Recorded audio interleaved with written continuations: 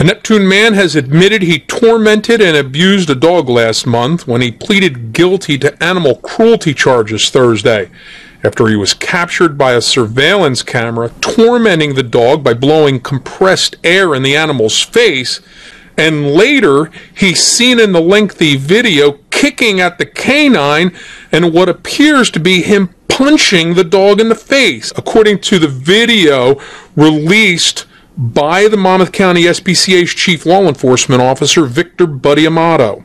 The video goes on to show George McIlvain, 23, as he torments the dog, but then the tables turn as the canine is seen attacking McIlvain, who staggers away from the dog's bites and behind a trailer before he emerges from behind the trailer, only to stagger out and away from the dog. McIlvain was captured on surveillance video on March 8th inside a yard where he was working.